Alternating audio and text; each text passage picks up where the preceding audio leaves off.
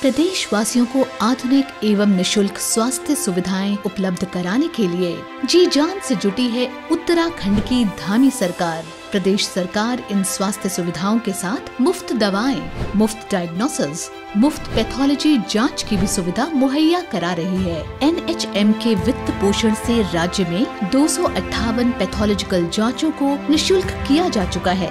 प्रदेश में अब तक 48 लाख से भी अधिक आयुष्मान कार्ड बनकर तैयार हो चुके हैं। 6 लाख मरीज़ आयुष्मान कार्ड का लाभ ले चुके हैं।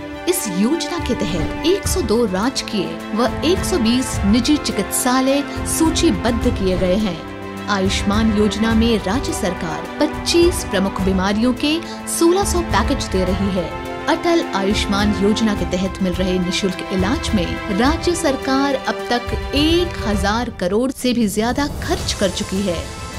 राज्य सरकार आपात स्थिति में तेज़ी से उपचार देने के लिए एडवांस लाइफ सपोर्ट एंबुलेंस के साथ साथ गर्भवती महिलाओं के लिए खुशियों की सवारी लेकर आई है, जिससे मरीजों की मुश्किलें आसान हो रही हैं। टेलीमेडिसिन सेवा ई संजीवनी के माध्यम से दूरस्थ पर्वतीय क्षेत्रों में रह रहे मरीजों को भी अब निशुल्क परामर्श और उपचार मिल रहा है सरकारी अस्पतालों में जिला स्तर पर नोडल ऑफिसर भी नियुक्त किए जा रहे हैं विशेषज्ञ चिकित्सकों को एनएचएम के माध्यम से पर्वतीय जिला एवं उप जिला चिकित्सालयों में सेवा हेतु चयनित किया गया। व मेडिकल कॉलेजों से एमबीबीएस उत्तीर्ण 300 से अधिक चिकित्सकों को प्रदेश की पर्वतीय चिकित्सा इकाइयों में तैनाती प्रदान कर दी गई है। हर रोगी को आधुनिक इलाज उपलब्ध कराना है।